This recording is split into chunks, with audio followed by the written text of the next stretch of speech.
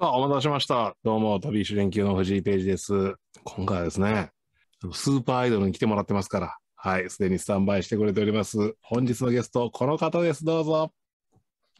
若ちこ、若ちこ、ゆきです。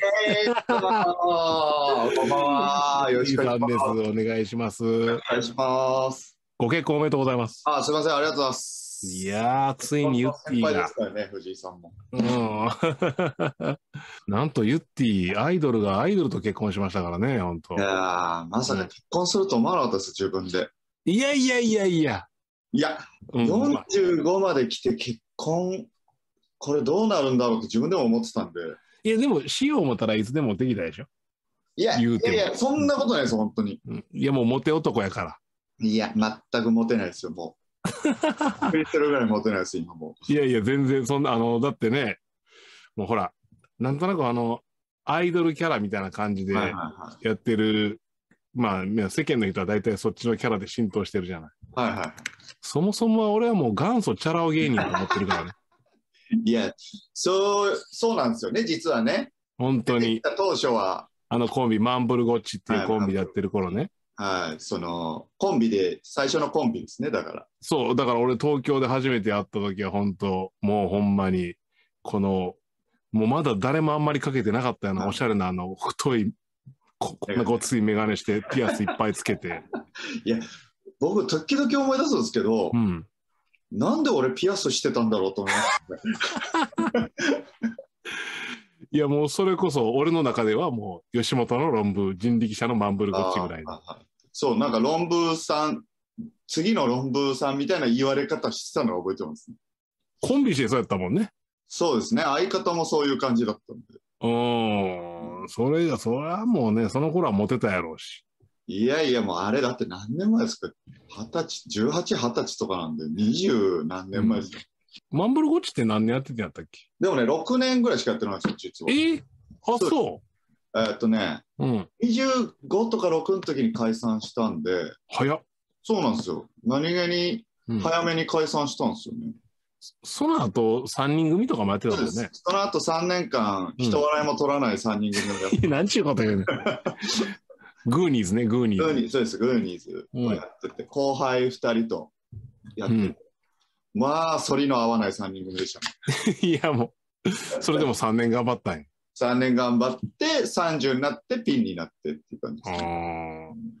ーでも3人組やってる時はそんなチャラ男の感じもなかったもんね。ないですね。でもまあ、その一応先輩だったんで、今までネタも書いたことない、コンビの時相方がとにかく全部引っ張ってってくれてたんで、あ、そうなの？そうなんですよ。まあネタも書いたりとか、こういうう、こういう感じでやろうみたいなのも全部相方がやってて、ほで、僕が急に舵取りになったんで、う。うん。まあその舵取りフラッフラだったんで、3人組の時。あの、そのチャラ男のキャラは、あれは何、相方の提案というか、それともいや、もう自分の？もともとなんか僕ら、そういうなんか、多分そう洋服とかが好きなうんうん。若若者だったんで 本当にただただ僕らはそういう、そう、うん。お笑いの人がそういう感じじゃないっていうことも知らずにお笑い入ってたんで。なるほどね。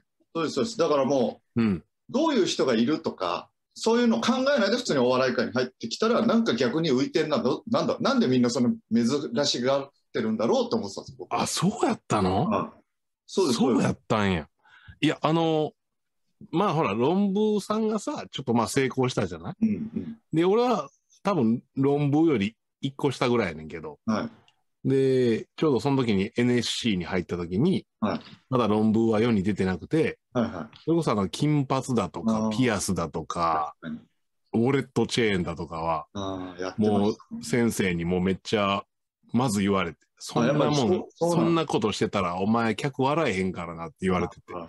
まあ同期には野生爆弾とかいてんけど、あーはいはいはい。まあ、あの時も川島とか、あのクッキーとかその当時から金髪坊主でピアスとかやってたけど、はいその先生の授業の時はピアス外したりとかしてて。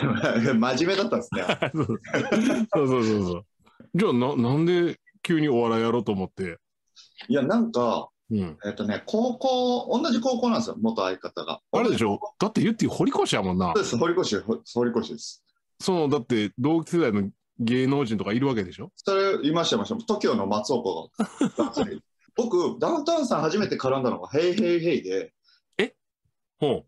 そうなんですよ。それ TOKIO のバーターで僕出させてもらったんですよ。ええなんか、もっとうん僕の同級生がお笑い芸人やってるんで、つって、その、それのゲストみたいな感じで僕出させてもらって。それはもう、コンビの時、ピンの時？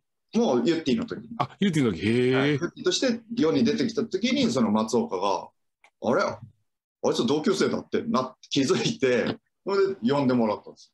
え、ちょっと待って、なんか俺は堀越のことよく知らないけど、芸能クラスとかがあるんじゃないの？あ、普通のそうです、そうです。僕らは別に普通科、普通科っていうんですか、まあ、基本的に全員普通科なんですよ。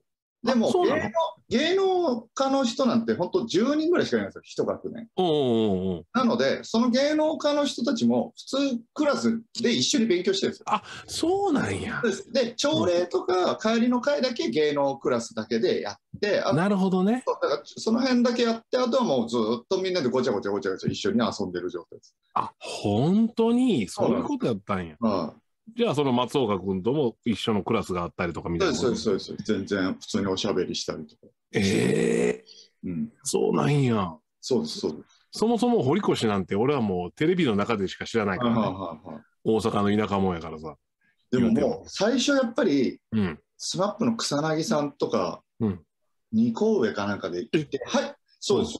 入った当初は、うわ、スマップいるって思ってたんですけど、もうそすごいもんで、3ヶ月もしたら誰見ても何とも思わなくなるんですええよ。慣れちゃうんそですか。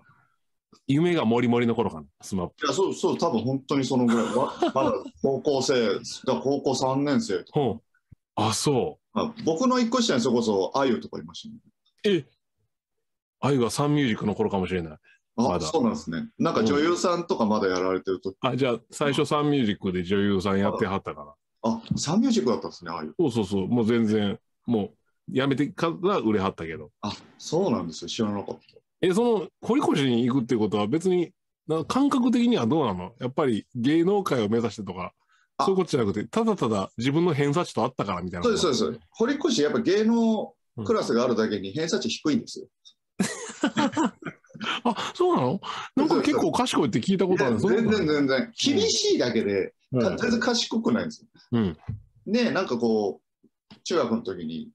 あるじゃないですか。どの高校を受験するかみたいな面談あるじゃないですか。うん。やっぱこうあ、偏差値低かったんで、偏差値低いとやっぱり男子校ばっかりなんですよ。工業高校とか。はいはいはでも僕はやっぱり共学が良かったんで、い。もう、あ、そうか。もうその頃からちょっとチャラさに目覚めてるわけね。多分そうですよ。女の子大好きだったんで、中学の時。もう仲良くしたいのね、女の子と。そうです、そうです。だからもう、どうにかして共学ありませんかって言ったら、堀越だったらいけるよってなって。へえ。それで、だからお笑い目指したきっかけは、その友達、そう、相方元相方が高校の同級生で仲良かって、うん。それでなんか2人ともね、結構学校行かなかったりとかうん。してたんですよ。あら、悪いなそう。で、だから、こう、なんていうんですか、に3年生に上がるのに、その、何単ポイントみたいなのあるじゃないですか。単位？単位。それポイントってなんやねん。そんな、T ポイントみたいやけど、はい単位単位。うん。上がる、上がうんる単位が足りないから、なんか学園祭でやりなさいって先生に言われたら、そういうのをやって、そしたら上げるから単位をと。わ、なんか、ええな、そういうの。そうです、そうです。それ救済策でね。うん。あれそその時は多分ね、上げたかったんだと思うんですよね。ダブらせるのはなんか嫌だったんですよ。もうめんどくさいから。まあうんうんうで、ん。なんか単位上げるから、なんか学園祭でやればって言われて、うん、それ当時にダウンタウンさんのあの、流れっていうネタが入ってるビデオです DVD ね。ビデオか。うん。で、みんな見てたと思うんですけど、うん僕らもやっぱ見てて、うんうん。ほんで、その元相方が、じゃあ漫才やろうよ。ダウンタウンみたいなことしようって言って、で、本当全校生徒の前みたいな感じで、漫才やったのがスタート、初めてなんですよ、それは。それはオリジナル台本？オリジナルです。だけど、まあ、今考えると、もうその学校の先生いじってみたりとか、なるほどね。有名なちょっと名前のある生徒のモノマネしてみたりとか、うんうん、うん。そういう感じの身内ネタみたいので、やっぱりそういうそういうのだったら受けるんで、おうおうおうそれでやって、おうそれ、それでなんか多分うちの元相方が高校卒業しての進路相談みたいので、お笑いやろうよって言って。で、JCA 人力車のスクールを見つけてきて、ほう。ここだったらなんか学校だし行こうよみたいな。NSC じゃなかったんやうん、多分なそこはだから僕らお笑いのこと全く分かんなくてなるほどね。だからなんかこの学校だから行こうみたいなあれよね、ユッティだって、もし NSC 行ってたら東京一期生やもんね。そうですだから品川庄司ともろ同期なんで、うんうんうんうん。だからもともとあったから多分 JC にしたんだと思うんですよ4期生なんでなるほどね。はいで、そうやって、じゃあ相方に勧められてきたものの、相方辞めちゃうもんな、でも。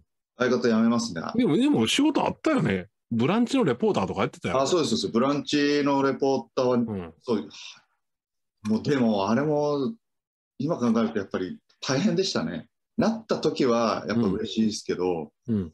結局何の実力もないのに中継生放送で回し合ってうん。相方ボケたら突っ込んでうん。でなんかここの状況を説明してうん。で耳からはスタジオのこういう声が入ってこれにも対処してで生放送であともう急に30秒で締めてとか言われるんでうんうん。それをやっぱり実力ない状態でやってたらもうなやっぱ無理でしたね。無理やった 無理やったかな？なんか上手にやってるなとか。いやいやいやい思や全然無理でしたよ。あ、本当。うん。やっぱりもう嫌でしたもん最後の方。うまくいけんから。そうぜうまくもいかないし面白くもないみたいな感じで言われてたんでああ、難しいよね。難しかったですね。で、それで、まあ相方が辞めるってなっちゃったの？そうです。あなんかまあネタ合わせしようみたいな感じでファミレス集まった時にうん。そうなんか例えば世に出るニュースみたいなのがあるじゃないですか。うんうん。でその世に出るニュースをお笑いの人たちやっぱお笑いに変えてみんなに伝えていくでじゃないって言われてうんうん。「いやそうだね」っつって、うん。俺はそういう笑いに変えて伝えたくない。ちゃんと伝えたいんだって言い始めたんですよ。急に？はい、それで、いやそしたらお笑いじゃなくない？って言ったんですよ。そしたらだだから俺はラッパーになりたいって言い始めた。でそれで、ラッパーになりたいんだっつって。その真面目にちゃんとこう世世のものをちゃんと俺の中のフィルターを通して伝えていきたいからラッパーになるって言って、ほう。でなんいまあ、12回ちゃんとちょっとちゃんとお前が誘ってきたことだし一回もうちょっと考えて、そうやね。うん。しかもネタも書いてくれてる方やしな。そうですそうです。いやいやでもラッパーになるから俺はもうやっぱお笑いはやりたくない。ででも本当にラッパーになってやってたよね。そうですやって今もやってはんのかな？今もうやってないですねあんまやってないのか。はい。で、なんか、1年後とか2年後ぐらいにインディーズでアルバム出したから、つってうんうん送ってきてくれたんですね。うん。へえ。16曲ぐらい入ってたんですけど、おう10曲ぐらいおっぱいの歌だったんですよ。俺、これのために解散したのかと なんかのイベントで一緒になっ思って。はいて、うん、おっぱいの歌歌ってたな。ですよね。歌ってた、めっちゃ歌ってた。だからなんか。真面目にうんやりたいって言ってたのに、おっぱい、おっぱいのことをちゃんと伝えたかったんだなと思っでも、すごい真摯におっぱいのこと歌ってたよ。て。いや、それは分かんないですけど、置き去りになってる方ですから、僕。そうやんな。はいでも、それであれやんな、ユッティはやめようってなれへんってんな。いや、だから、他にやることが別になかったんですよね。なかった？うん。なかった。まあ、でもまあ26だしっていうのもちょっとあったんですよ。まだ26だし、まあな。そう、でもその頃って、うん今と違って30までに売れてなかったらもうやべえみたいな。そうやんあなじゃないですか。よくここでその話なんねんけど、昔はそうやったよねい。や、本当そうでしたよね。うん。で、だからあと4年ぐらい一応やって、やろ、やって、うんダメだったらやめようって思ってたんですよ。うん。そしたら、その、グーニーズ3人組を、でも人笑いも取らない3年間があったんやろ？そうです、もう地獄です。だから、これで終わるのか、俺のお笑いはと思って。そうやんな。はい。ちょっと悔い残るよね。いやでも30になってさすがにそのトリオもやっぱもう全然歪みが出てきちゃってたんで笑いも通らないし。うん。なのでもうじゃあ本当に解散しましょうって。さ僕が30になった時にちょうど解散したんで。おう。これでもうピンでやる勇気もないですしその時。で事務所に本当に言いに行ったんですよ。社長のところにお笑いやめますっていうことをもう言いに行ったんや。そうですそうです言いに行ったらその先代の社長がうん。そのいやお前はお笑いなんかやめられるわけねえだろって言われてえー、何その感じ。ちょっとかっこいい。あいや、お前もうここまでやってやめられるわけねえだろって言って、えピンでやれって言われて、そこの横に事務所ライブしてきてるマネージャーがいて、ー、うん。で、そのマネージャーさんが、あじゃあ来月お前ピンで入れとくぞって言われて、バーって入れられて、おうそのままピンになっちゃった。ええそうだから先代の社長が止めて、止めてっていうか、いやもうやめ、や、やめるなとも言ってないですけど、先代の社長はもうやめられるわけねえだろっていう言い方で続けさせてくれたんですよ、でそれなかったら多分やってないんですよ、今。え、何それ？俺そのパターン聞いたことない。あ、本当ですか？基本大体ほら、まあ、社長にしろ、マネージャーにしろ、辞めるって言ったらさ、大体、あ、そうか、つって、はいはい。それで終わりやけどな。そうなんかどどういうつもりで言ったのかもいまいちわかんないですけど、うんうんうん。その先代の社長はうん。辞められるわけないから続けろ、ピンでやれって。でもまあ、もしさ、それで辞める覚悟でさ、一応言いに行ったわけやろ？はい、そうそう。じゃあなんか次何の仕事しようとか決めてた？それ、それなんか、えっ、とね、ハロプロ関係のお仕事してる方がいて、その方が、なんかこう、ライブの MC の台本とか、そういうなんかイベントごとのなんかそういう中の各仕事しないって誘われてたんですよ。飯田さん？そうです、飯田さん、いいです、飯田さんです。サービスファンダ。そうです。うん。あ、飯田さんに、うん。なんか、最近、マンブル、ゴッチ解散して3人組でやっててどうなの？みたいなうん探りの連絡が来てて、うん。でも本当にちょうど解散する寸前だったんで、もう解散すするんですよって言ったら、だまあ、く悔いが残ってないんであれば、こっちで一緒,、一緒に仕事しないって誘ってくれてたんです。それで、ああ、でもそういうのもいいかなと思って、おうで、もうそっちに行くつもりで、一回辞めてから飯田さんにちゃんとやりますって話そうと思ったら、うん。うんそれ辞めらんなくなっちゃったんで、へえ。あ、そそうです、そうです。だからもしかしたら、ハロプロで働いてる可能性がそうやんな。はいおう一つ何かが違ったらな。そうです、そうです。本当にそうです。いや、でもさ、ピンになって、はい。ライブ無理やり入れられて、はい。あれやろ？最初漫談みたいなことやったんでしょ？あ、そうです、そうです。本当に、うん。だから何していいか分かんないで、うん。フリートークみたいな、それこそ僕はもう、ピンの人イコール、その頃、スマイリー菊池さんだったんですよ。ちょっと待って。スマイリーさん、もはう、もう数年前やろ、スマイリーさんがよくテレビとかで。まあ、でもなんかこの、うんどうしていいか分かんない。例えば、まあでも、そうやんな、スマイリーさんとか、あと、有料化さんとか。そうです、そうです、そうです。本当にそうです。で、なんかこう、あ、漫談をピンだからやるな、やらなきゃいけないんだなと思ったんですよ。おなんかコンート、多分一人でコントは、うん。ツッコもともとツッコミだし、ずっと。そうか、そうやな。ボケるという作業がうん。どうやっていいかわからないかったんで、うんなんか漫談だとやっぱこう、半分フリートークの延長線上でこう話を膨らましてって、ああ、まあね。うん。話のものに突っ込めばいいかっていう、うんうんうん。自分で投げた言葉に突っ込むみたいなうんのをやったらめちゃくちゃ受けたんですよ。へえ。おう今までトリオで3年間全然笑ってない。どんだけその3年間きつかったんや。いや、本当にやばかったと思います。うん。それで、なんかその漫談やったら受けたから、あ、受けたと思って、うんうんその初舞台が受けたからちょっと自信、ああ、そうやんな。そうです、そうです、そうです。うん。そこがもしあんまり出花くじかれたら、やっぱりいいかとかなったかもしれんもんそうね。したら、もしかしたらやめてたかもしれない。あ、そはい。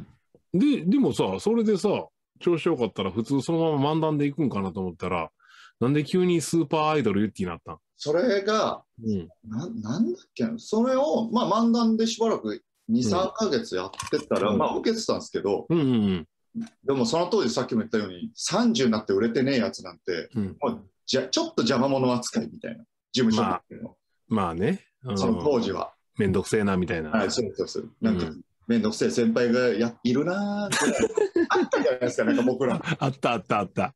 偉そうにしてんな、テレビ出てねえくせにみたいな。はい、んそう。その感じは自分でも薄々気づいてた。うんうんうん山だと思われてんだろうな、僕らもそう思ってたし。20代の時っていう。はいはい、わかるわかる。その気持ちもありつつ、でも受けてるし、と、うん僕ら事務所から、そのちょうどレッドエンダの時代だったんで、うんね。そういうのに出れるネタ作れって言われて、なるほど。30で漫談なんかやってたって、その、いしばらくかかる、そんなの売れるキャラクターもなんもなきゃって言われて。で、ある程度の尺ないとあかんしな、漫談。そうです、そうです。うん。で、なんかレッドやらなんやら出れるもん作れって言われて、無理やりこう絞り出したものがユッティだったんですよ。あれ、そうなの？そうです、そうです。いえらいもん出てきたな、あれ。や、そうなんですよね。ギュイーンってこう、糖度を言うたら絞ったら一気にそうです、そうです。出てきたのがあるんです。あ、そはい。う。いろいろなんかこうつながるな。でも、あの、堀越時代とかいろいろつながってくるな、ほんなら。あそうです、本当にそうですね。うんで、なんか、その、なんかもうキャラクターやら何やら、そのフレーズも考えなきゃいけねえんだ。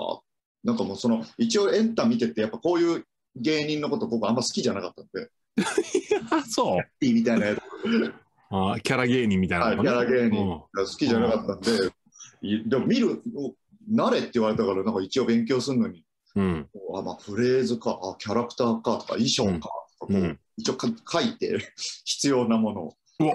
おお、ついに人生初の作戦会議や。そうそうです自分作戦会議。それをでも一人じゃもう分かんなかったんで、うん。その時人力車ってピン芸人が、田上さん抜かしたら3人ぐらいしかいなかったんですよ。へえ。その誰やえっ、とね、パーティー内山と、う。あ、パーティー、うん。はい、えっ、と、佐藤なんとかで坊主の子がいたんですよ。うん。その2人を集めて、うん。うん。俺は事務所からこういうふうに言われてるんだけど、どうしたらいいって言って、さ3人で新,、うん新宿の歌舞伎町の、うん本当な、今でいう広場みたいなのあるじゃないですか。うんうんうんうん。そこで3人で立立ちな立って喋ってて、店入れよ。あれ？バカバカの帰りとかそういうこと？そうですそうです、本当あにそうななるほどね。うん。はい、でどうしたらいいかね？つって、うんとりあえずユッティさんちょっと台本開いてくださいっつって、うんうんなんかが見つかるかもしれないっつって、おなんかええ話やな。開いたら、うん前の相方に言わせようと思ってたギャグみたいなので、若ちこって書いてあったんですよ。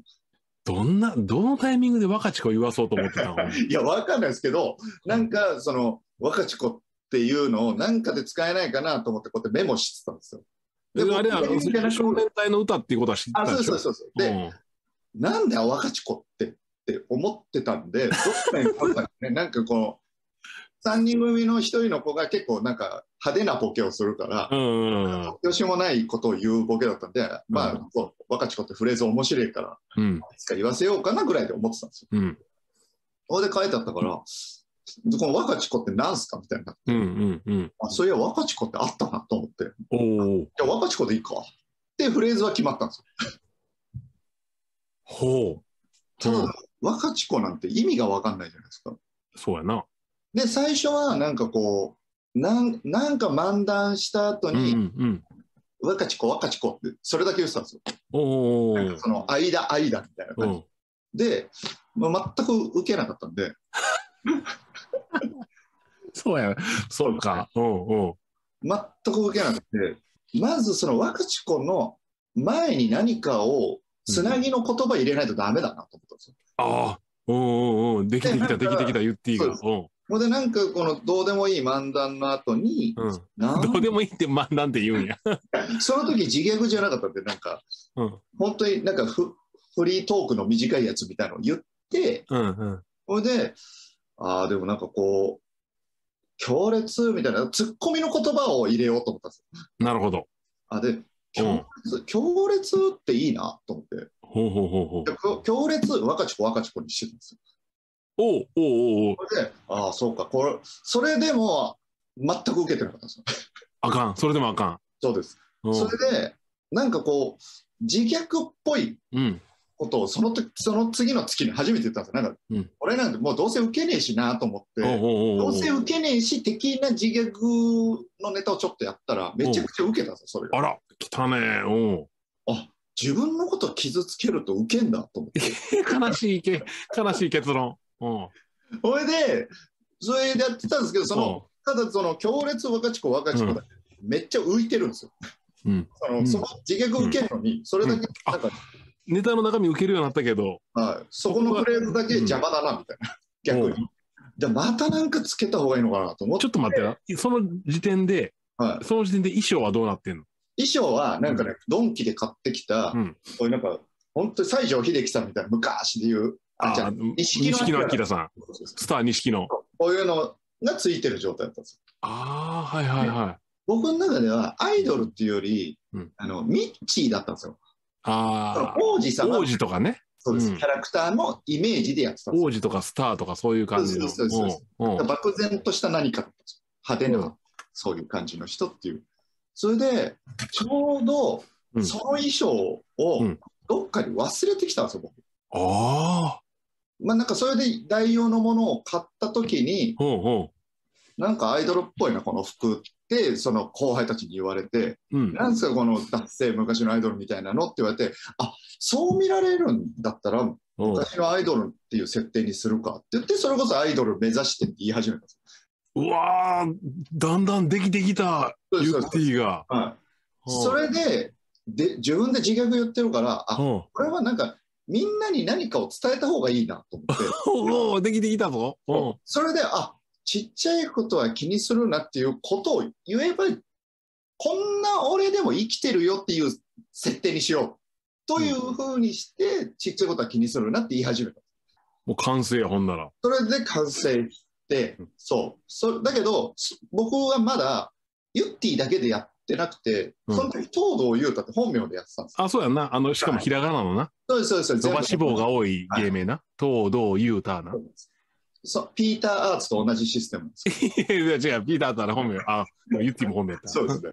だから、その、東堂優太がやる一つのネタだったんですよ。他に、だから漫談はまだ捨ててなかったんですよ。プライド的に。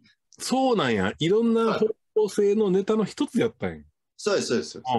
そしたら、このアンタッチャブルの山崎さんが、うんもうややこしいから、そのもう、ユッティっていう芸名にしろと、まず。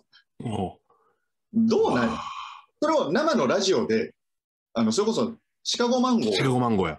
で、柴田さんがちょっと追い足して出れなかった時期に、うん。僕が代わりによく出たよね。うんそうですその時に、もうそれこそ一番最初じゃないですかね、行って、ユッティって紹介されて、うん。だけど、ユッティっていう芸名でやってないんだろって言われて、おややこしいからユッティっていう芸名に今日からしよう、今からマネージャーに電話しろって生で言われて、ああ、もうそこで。そうなんです。よ。それで電話して、うん。マネージャーも聞いてて、うんうん。その1回目だしだ大丈夫かなと思って電話かかってきたから、あ、うん。どうぞって言われて、でその光ユッティ、もう東堂優太ではなくユッティになって、ユッティってしたのは、なんとなく五感というか。それは、えっとね、それこそミッチーなんですよ。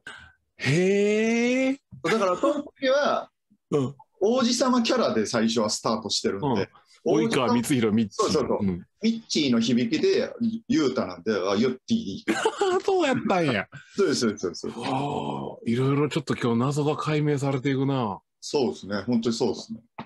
へえ。で、ただ僕も、どうした？ユッうん。ティって僕か、勝手にカタカナだと思う、勝手にっていうか、カタカナだと思ってたんです、僕は。ああ、まあ、ミッチーがカタカナやからな。そうです、そうです、そうです。うん。で、初めてレッドカーペットに出させてもらった時に、こう交番表が貼ってあるんですけど、うんユッティってひらがなで書かれてたんですよ。おうおうで、僕それ見て、あ、ユッティってひらがななんだって思って、そのまま受け入れて、今、ユッティはひらがなになってるんですよ。ああ、そそうですう。でも、ひ絶対ひらがなの方がいいよね。いや、今考えたらそうなんですよね。柔らかい感じがするんで、なんか、バカっぽい。キャリーパミュパミュと一緒よね。いや、そうですね。本当にユッ、ティってやっぱり柔らかいもんね。カタカナだとやっぱ硬いんで、ちょっと。うわあ、すごいな。人に歴史ありやな。そうですね。だからレッドカーペットは結構本当にいろいろ作ってもらった感がありますね。うんうんうんうん。あれ今はなんか、アパレルブランドは専用の衣装作ってくれてんの？あ、そうです、そうです。なんか、うん。えっとね、ユニバーサルオーバーオールさんというブランドが、うん。の方が、なんか事務所に連絡してきて、ほう。そう、社長さんが、ほうほうちの従業員にユッティさんに似てる従業員がいるんで、なんか一緒に仕事できないかなと思いまして、つって連絡してきてくれて、う。何その依頼うん。それでそっからなんか取材みたいのを一緒に受けて、ファッション雑誌で。うん。そっからの付き合いで、もう全部衣装作りますよって言われて、作ってるんですよ。今あ、そそうなんですよ。う。なんかいろいろ繋がってくるんやな。いや、本当ありがたいですよ。それでバーンと一気に世に出たもんね。そうですね、本当うに。ん。で、今もだいぶ稼いでるんでしょ？稼いでないっすよ、全然。いや、だってこの間、はい南川のラジオ聞いてたら、すげえ稼いで、ゲラ、ゲラのラジオで1本30万もらってるって言ったあれら、嘘だから。あの人たちのラジオ地獄ですよ、本当に。散々いじられるだけいじられてな。行ったら地獄見るラジオですから。いや、でもその、ほら、まあ、ちょっと冒頭にも言ったけど、ユッティってああいう感じのちょっと色物的なキャラやけど、は基本はちょっと構、モテ男やもんね、ほんまに、ユッティは。いやーなんか、だから、自分でもやっぱこう、あったんですよね、一時期。この、何？ユッティで世に出てるから、やっぱりこう、うん外出てても、ユッティとして扱われるじゃないですか。それはもうでも接しやすいやろ、それは。うん。なんですけど、今はもうそれ抜けてるんですけど、うん。30代、35、6ぐらいまでは、うんいや、これ、そういうやつじゃねえし、え、そんな時期あったん？全然ありました。全然ありましたよ。じゃあ、その、例えば飲み会とかで女の子が、はいいや、ユッティじゃんとか言って言ったら、いや、俺そういうのじゃないんで、みたいな。そうです。だからその、ユッティとして扱われると、やっぱちょっと舐められるというか、あるじゃないですか。その、外出ても男の子に、うん、ユッティだ。何歩いてんの？じゃないけど、うん。なんか、あの、うん若ち子やれよ。じゃないですけど、あるじゃないですか。うんうんまあまあね。ううん。だけど、それに対しても、いや、俺別に、本当こう、ああいう性格じゃないからねっていうのをずっとプライドがあったんですええありました。そうなん、ショック。うん。ショックですよね、だから。だからでも、今やもうこの、ユッティでいることの方が楽になっちゃってるんですよ。あ、そはい。なんかこう、世の中のハードルも下がってるんで。ユッティ。う。世の中のハードル。そう、なんか、まあ、ユッティだろ？しょうがねえよ、みたいな。おお、それはどこで吹っ切れたのこれ？多分、やっぱこう、レッドカーペット終わって、しばらくは仕事あったんですけど、こう、こう落ち込んできた時に、うん。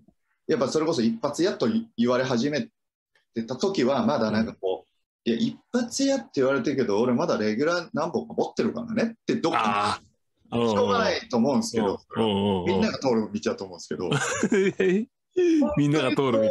そのなんかこの一発屋でも一発屋として呼ばれることもムカついてたしレギュラーあるのになーって思ってそのレギュラーがなくなってそれこそでも鉄友とかダンディさんがうん。一発屋として一緒に呼ばれる時いるいらっしゃるじゃないですか、うんうん。なんかめちゃくちゃ楽しそうにやってるのを見ておお、先人たちが。そうですそううんですでその人たちも多分どっかで僕と同じ気持ちを味わってたのかもしれないですけど、うんうんそれが抜けて、すごく晴れやかに仕事として一発屋をやってたんですよ。おお、いい話だな。おで、あ一発屋っていう仕事って、うんなんかこんな楽しそうにやっていいんだって思ったんですよ。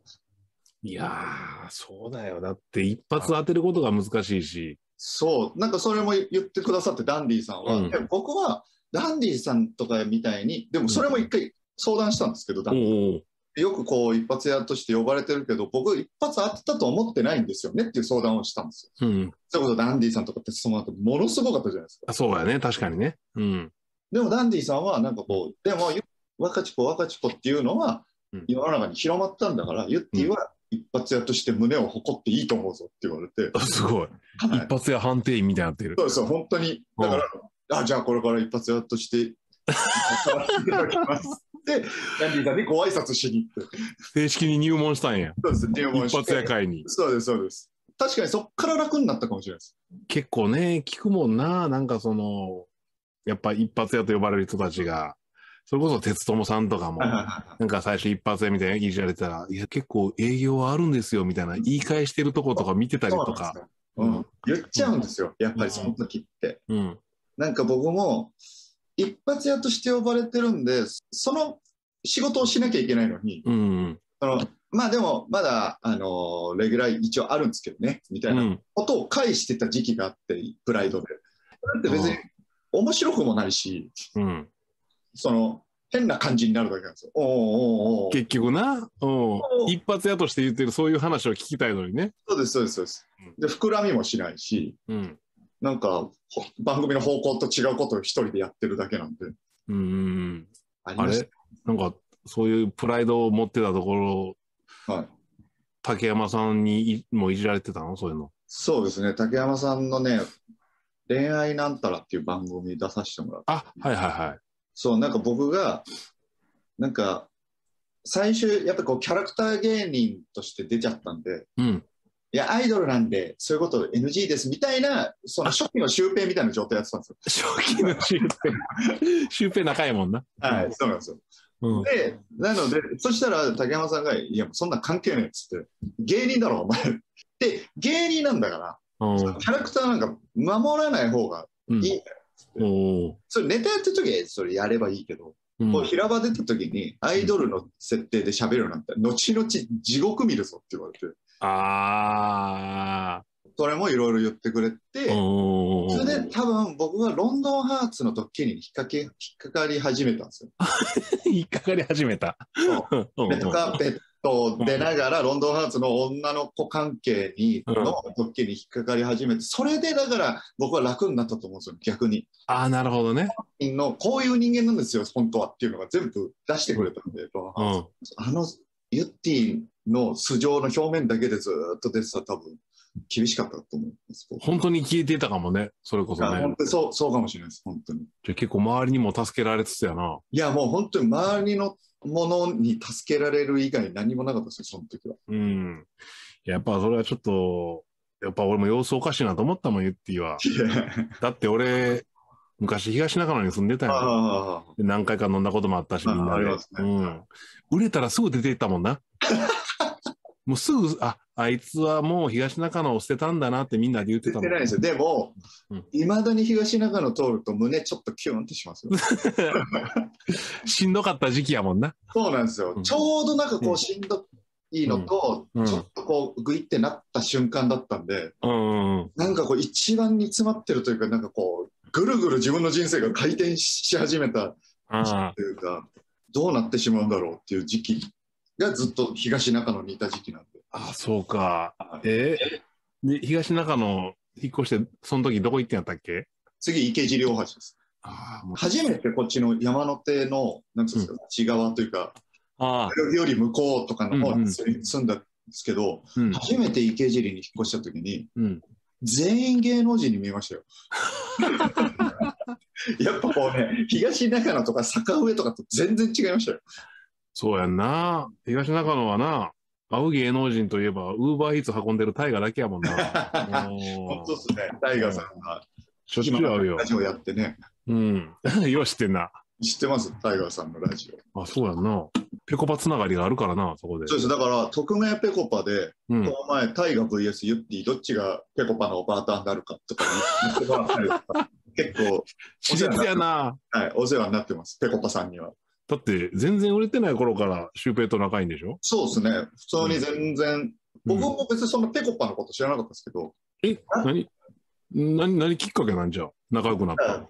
あいつサッカーやってたじゃないですか。あ、はんはんはんはんで僕が仲良かった J リーガーとシュウペイが同級生で、そう、なんか謎のつながりだったんですその芸人として最初つながってなくて、なんか、J リーガーを介して繋がったそうです、そうです。へえ。そこから、あ、お笑いなんだっつって飲むようになって、うんうん。それで、いつの間にかスターに駆け上ってったっていう。スターになってたな。うんまあ、本当にアイドルになったもんね。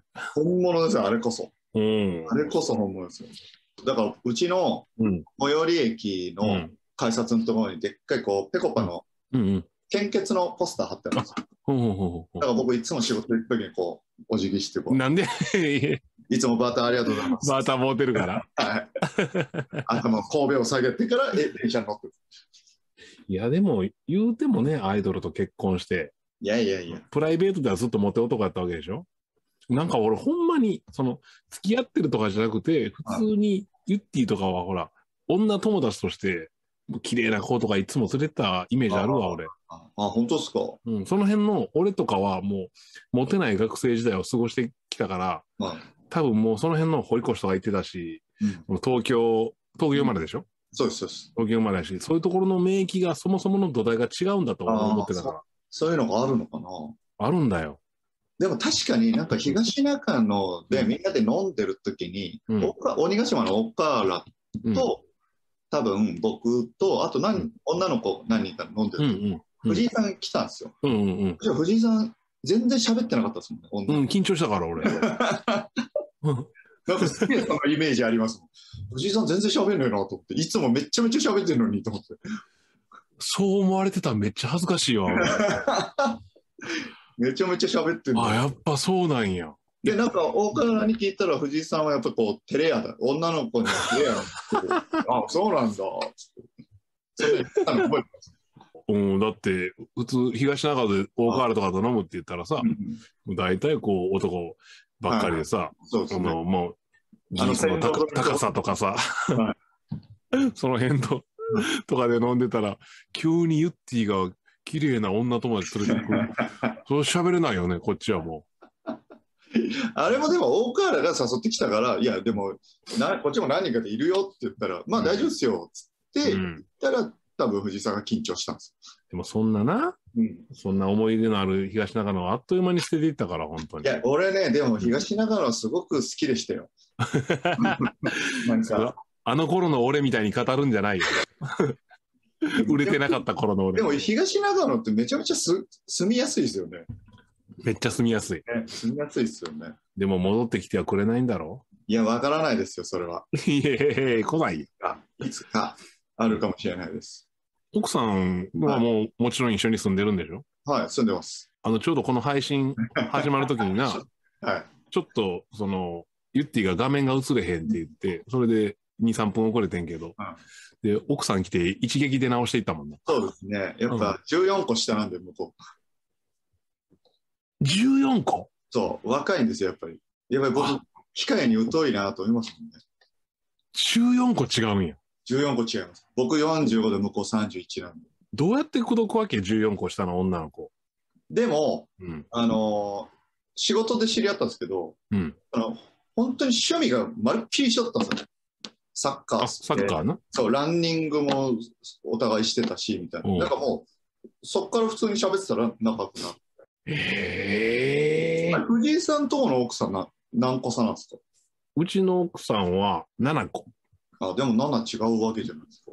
えでも7って、その全然全然、もう30とか40とかなってんの7って知れてない？もうだって、干支がさ、干支がもう一回り以上違うわけでしょ？びっくりもう干支で言っちゃってる時点で俺はもうおじさんやからね。だから、僕がレッドカーペット31、32で出てる時向こうだから中3とか高1ですからね。そうやんな。じゃあきっと見てたんやろな、そうやって。見てたって言ってましたね。で出会った頃はまだあの、東堂雄太を残してなかったの、まだ。いや、もう出会った時はもう2年前ぐらいだったんで、あ、そんなに結構早く結婚したの？最近です、本当に。あ、じゃあもうちゃんと身も心もユッティになってる頃ね。なってます。で、うん奥さんはうん会った時に、あユッティってまだやってんだって思った。ユッティってまだやってんだって思った。うん。そんな感じだったんや。そのさ、すごいね、向こうはそうやって恋愛感情として見てくれたんやな。いや、まあ、全く最初は思ってなかったと思うんですよ。そのなんか、コロナ禍で、うん。なんかもう誰も外出ちゃいけないみたいな時期あったじゃないですか。本当に最初の頃。一番最初の緊急事態宣言ね。そうそうそう。うん本当にスーパー行くだけで打つんじゃねえかみたいな。なんかそれもな、ちょっと最小人数で行ってくださいみたいなそう。ですそうです。本当にもう、何にもだからみんな仕事もなく、ないし、全員家にいたじゃないですか。いた。ただただ家にいたよ、みんな。その時に、なんかランニングアプリで繋がってたんですよ。ほうほうだからほうほう。暇だからランニングして帰ってくるぐらいしかもうやることないですよ。おうで、お互いこう、なんかめっちゃ走ってるね、みたいな連絡をし始めたんですえー、何それ何それドキドキする。うん。よ。ほいで、うん。本当にだからこう、ランニングの LINE をずっとしてるだけの関係だった、最初。うん。でさうんキロ何分とかで走ってよ、ぐらいで。ああ、そうなんだ。うんこっち何分ぐらいで走ってたわ。えー、何何？でもまあ、それで頻繁に連絡取るようになるけど、それからどう踏み込んだの？それちょっと。そういやでもそこでそれこそ3月ぐらいにずーっと外出ちゃダメですみたいな2ヶ月ぐらいそれが続いたじゃないですか、うん。でやっとなんかちょっとご飯食べていいよみたいなちょっといいよみたいな時になったよね。ちょっと解除みたいな。そうその時にはもうほとんど毎日のように LINE してる仲だったんですよ、特に意味もなく、まあ、サッカーの話とかもしてたんで。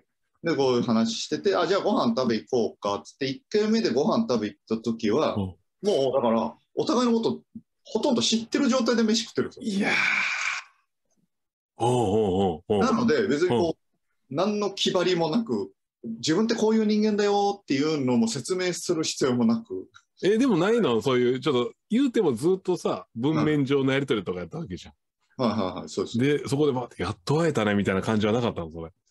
そういう感じでもなかったんですよね。だからなんうんうん。か本当にフラットな LINE のやり取りをしてたんで別にそこの中で口説くとかなかったんですよ。全然、うんでなんか本当に今日誰々とご飯行ってこんな人がいたぐらいのそういう感じの LINE というかなんかその、奥さんとかも、まあ近くにおるかもしれんからはい聞きにくいけど、はいその前とかはしばらくあんまり彼女とかいなかったわけ？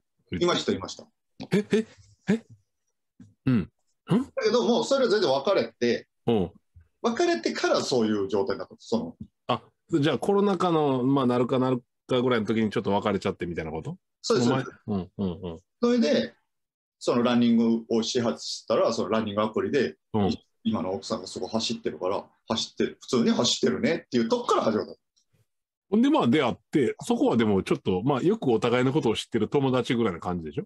うん、いや、でも、うん。そうやっぱりもう趣味も一緒だし、うん。すんげえ楽だったんですよ、お互い多分。あ、まあなるほどね。はい。なんかその気張りもせず、みたいな。で、それ1回目のデート終わって、うん。もうだから2回目に、でも付き合ってるんですよ。2回目、あ？1回目はもうそれデートやったのっていうかまあ飯でも食おうよ。ご飯食べましょうで、うん。まあちょっと飲んで解散みたいな。うん。で、2回目に、多分ね、J リーグが再開するから、じゃあ一緒に見ようかみたいな。うんうん。それで、で、うちに見に来る。いやー、何？激アツやな。ってなってて、それで、僕、後輩呼んでるの忘れてたんですよ。後輩もい一緒に見ましょうって言われてて、あ、じゃあうち来ればっつって言ってて、奥さん、その時奥さん来て、あ、そうだ、うん。俺後輩組んだな、今日忘れてたと思って、おうおう大事よ。うん。その奥さんに、にちょっと後輩、そうだ、後輩呼んでるの忘れてたんだけど、うん。あの彼女って紹介してもいい？いいって聞いたな お前やろ。え？何それ？いやそれが実質告白みたいなこと？そうですそうです。それで奥さんがいいよって言うから、で、後輩来て、後輩、もう本当に付き合って5秒後ぐらいに後輩にしょ、もう彼女ですって紹介してる状態です。いなくなった。もうキムタクのやり口やんそんなん そんなんそんなんキムタクのやり口ですやんやり口だけは。やり口と髪の長さだけは。くっそ マジかはいそんな方式があんのかそんな、たま、でも本当にたまったんですよ。それをさよくああ俺俺の口からはそれ出ないわいや、でも、うん後輩から誰ですかと言われるのも嫌じゃないですか。いちいち説明、なんと説明しようっていう。いやそんなそんな後輩にもさはいそんな掘ってけえへんでしょ。え、どういう関係ですかとかってめちゃめちゃ仲いい後輩なんですよ、それが。一番こう一緒にいる後輩だったんで、デリカシーがないんだ。デリカシーはないです。人力車？人力車です。くわあそんなことがあるなんて。じゃあもう、奥さんからしたらさ、はい、もう家に行くっていう時点で、ちょっとある程度もいや、まあ、んかもしれないですね、もしかしたら。う、家に上がるっていう時点で、うん、うん、そうやな。気は許してたのかもしれないですけど。そうやろ。だって、あなあ、ちょっと、あ、ちょっと、いや、この人何？超急に家呼んでくるじゃん。キモとかなってたら絶対けえへんもんね。いや、まあそうですね。確かに。ほら、そんなさ、イケメンなこと言ってるから、もうさっきのスパチャ返せみたいなコメントも来てるよ。ええー、ちょっと、見てくださいよ。わかるよ、それは。だってね、奥さんには奥さんのファンもいたやろうし、きっと。いや、そうでしょうね。どう思ってんねやろな。結婚相手言って言ってる時に。ですかね。うん。そうファンの人にインタビューしたいですよ、僕。どう思ってます？つっもう、ああ、ユッティでよかったってなるんかな。て。いや、ならないでしょ。ユッティかえて。ゆゆだよくありましたよ、このゆユッティが45でグラビアと結婚できるんだったら俺でもできるんだろうっていう人、たくさんいましたからね。夢与えたな。まあ、コメント。それそれはな、ユッティが45でグラビアアイドルと結婚してみたいなのなってるけど、俺はもうさっきから言うてるけど、ユッティはもともとがモテ男やから、そこはもうポテンシャルが違うから、もうさっきの告白の仕方でも分かるように。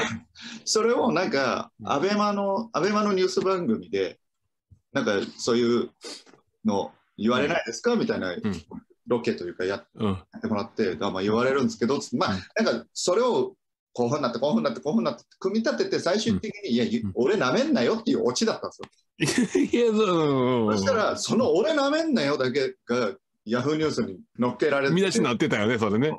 めっちゃ嫌なやつ見てたなと思って、それに。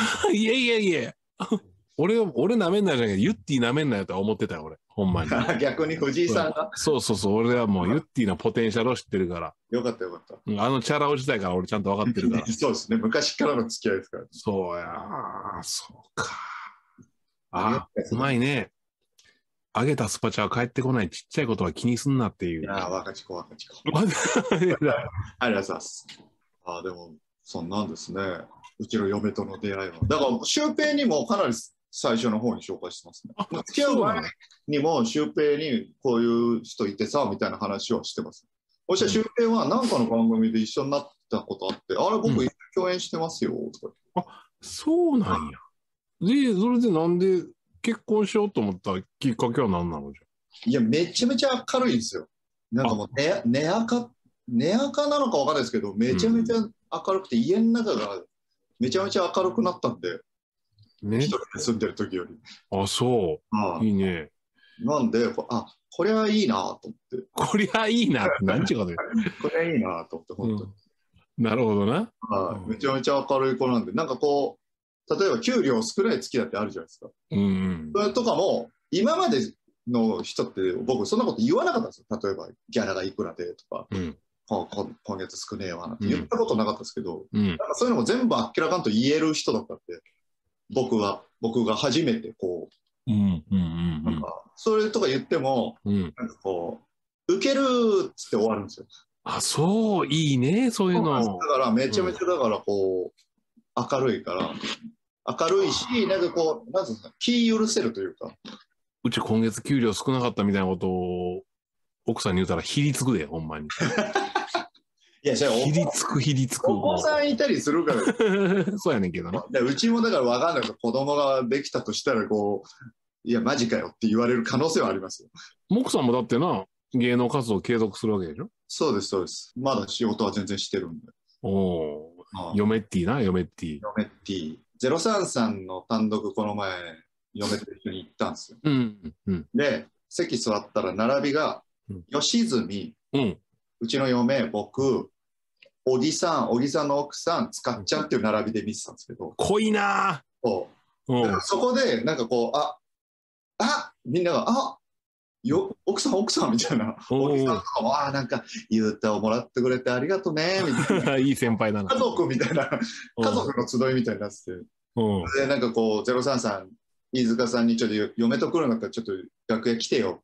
このコロナ禍だから本当あんま良くないけど、ちょっと。嫁さん紹介してよって言われてたんで、うんでちょっとこうつってもう、ゼロさんさん3人が、いやー、ゆうたが結婚かーっつって、本当に、ねね家族みたいでしたね、倫理記者。いだってもうその辺の人だってもう20年以上の付き合いやもんねや、。そうです、本当にそうです。ああ、20年、下手したら25年の付き合いやもんな。そうです、ね。だから皆さんの奥さんもそれぞれこう、一緒にご飯食べたりしたこともあったんで。人力車のその家族感めっちゃええよね。そうですね、もともとだから少なかったっていうのもあるんですよね。当時はな、はい。今でこそ増えたかもしれんけどな。その頃はもうだって10組いるかいないかでずーっとやってたんで、うん。だからみんなこう、ファミリー感が出るんですよね。ああ、なるほど。昔の人は特に。ちょっとコメントにもあんねんけど、はい最初奥さんとやりとりしてるときに、ロンハーのドッキリやとは思えへんかったの。それ。いや、ロンハーのドッキリだと、あれが、これがドッキリだとしたら、うん。俺多分二度と結婚できないですよ。あと、ロンハーだったら怖いです、本当にもできすぎてた、あまりにも。う。もうできすぎてる。ナチュラルすぎた。いや、でもやっぱロンハー、あの当時食らってた時も、うん。完璧すぎて怖いんですよ。もう後からドッキリってばらされた時に。な、よく聞くけど、ロンハーのドッキリってほんとすごいらしいね。いや、もう全然わかんないですよ。その1ヶ月ぐらい丸々騙されてるんで、全く気配も分からへんっていうもんねそうです。全然わかんないですよ。カメラとかにしてもそうやし。はうん。で僕あの、ブラックメールみたいなのうん。あったじゃないですか。あれうん2回食らってるんですけど、だから2回目の時は、だから1回食らってるから、うん。多分さらに慎重になるというか、なるほど。スタッフさんが。一回やってもう大体疑心暗鬼になるもんね。そうなんですよ。うんで、その時もなんか相手がモデルさんだったんですけど、うん。で、なんかこう、ツイッターのダイレクトメッセージからつながるかみたいなドッキリだったんですよ。ほうほうほうほう。で、ダイレクトメッセージが来て、なんかうん。今日はありがとうございました、なんとかなんとかみたいなの来て、うん。で、本当に僕、その時ライブだったんで、いやこれドッキリだよなっつってみんなに言って、そんなわけねえよなっつって、もう本当返したんですよ。いや、これドッキリでしょって返したんですうよ。んうん。おじゃドッキリだよって返ってくるんですよ。うん。でも僕、その当時、やっぱドッキリかかりまくってるから、うんその飲み会とか行くと、これドッキリだからっていう女の子ばっかりだったんですよ。で、ドッキリじゃないんですよ。だから、うわうわそのパターンかと思って、あ、じゃあドッキリじゃないんだってなるんですよ、こっち。いおっとすごいなや、だから、あの人間の心理のつき方の天才、要はあれは淳さんが返してるわけでしょ？そうです、そうです。だから天才だわ天才なんですよ。それで、なんかこう、例えばなんか、そのスタッフさんもすごいなと思ったのが、うんうん一回普通いこの女の子がデートしてリードしてお店決めて、そのうん裏でモニタリングして、うんどうでしたってバランスわけじゃないですか。で僕の時だけ僕が行く店でいいんですよ。なんなんて言ったんですか？女の子は誘導しないんですよ。僕がえ？行ってる焼肉屋さんに普通に行ったんですよ。そえおうで後から聞いたらスタッフさん尾行してきて、うん。その場で全部店員さんに「いやこれこれこうで今こういう状態でこういう状態でカメラを貸してください」っつってはめてってだからもそれもう絶対ドッキリって疑いようないやん。ういやそうですよ。で本当に34時間ぐらい飲んでうん。でお店ももうあのこれラストオーダーですみたいに言われてでその前12時半ぐらいだったんでじゃあ次どうする？こっちはもう本当に酔っ払ってちょっとよいい感じで酔ってるし向こうも結構飲んでるんですよ。うんうんで、後から聞いたら、そのドッキリ食らった女の子も、あれこれドッキリじゃないのかなって女の子すらが思ってるぐらい、あれこれプライベートだって思うぐらい。相手がそんなによ寄ってくれたらさ仕掛け人がそんな酔っ払うわけないよねって思うよね。そうそう。そうです。うん。